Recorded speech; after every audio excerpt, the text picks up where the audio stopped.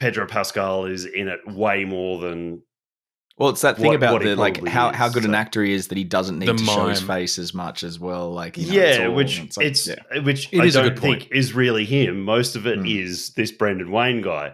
And it- the, just listening, Al put me onto a podcast called um, You uh.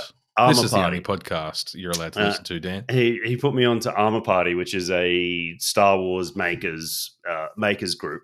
Or Oh, I makers thought that was something totally different. We went back to Rule 34 from the last conversation anyway. Okay, I um, believe that's Lemon Party.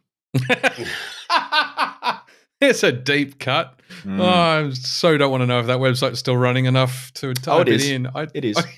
Thank you, Tom. I think other you might have admitted way more than you intended there. I like to play pranks on people. I change their if they leave their laptop open. That's what I change their bookmarks to. Uh, dude, Gets them every time. God, I thought I'd just stick the Rick rolling, man. Keep it clean.